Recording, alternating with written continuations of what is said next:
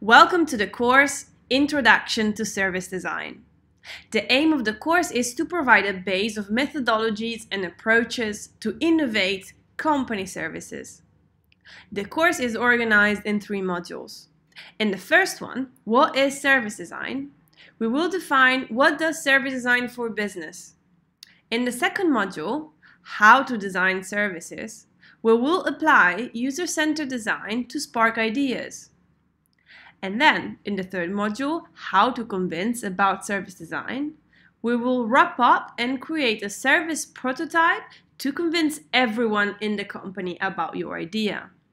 So let's dive in the first module. This lesson aims to provide a clear understanding of service design and what can do for businesses.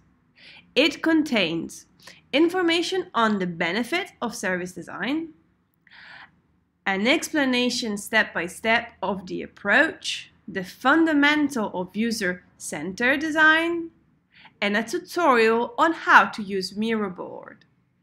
It's an online tool that we will use in Module 2, like every real service designer.